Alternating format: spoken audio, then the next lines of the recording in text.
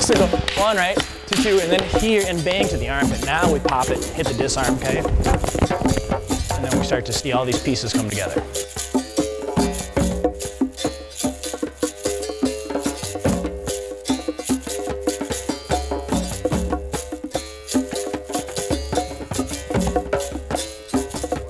Yeah, bang. Jump cut, jump cut, enter, boom. Go right to the next side. Cut them up, bam, bam, bam, bam, bam. It's good for the receiver.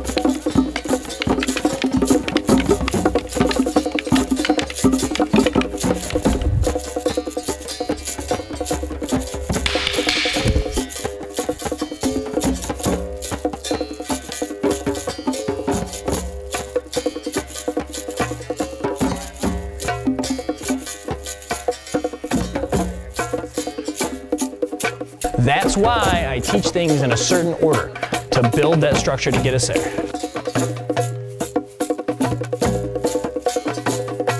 One to two.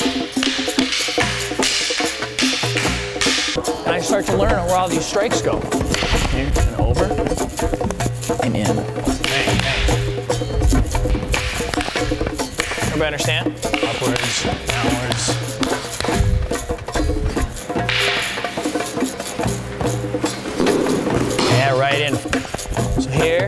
Bang, go over, back, with your striking, go over, and bang, just put the put the throw stab right in, okay?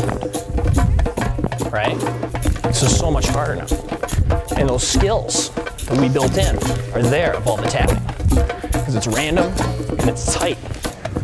Hit it, move. Make sense? Um, cross stop, cut, cut, stab, stab. I'm gonna cut the throat, cut the throat, stab them, and disarm them.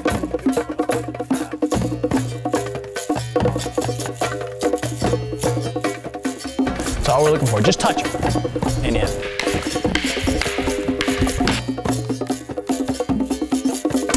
We're just plugging in a different type of block.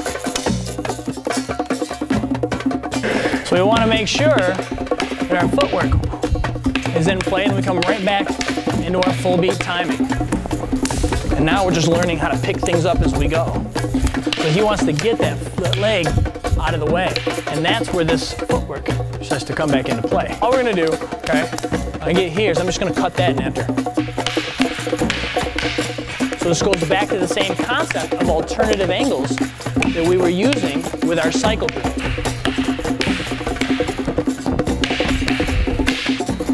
Bang, bang, bang, bang, cut them.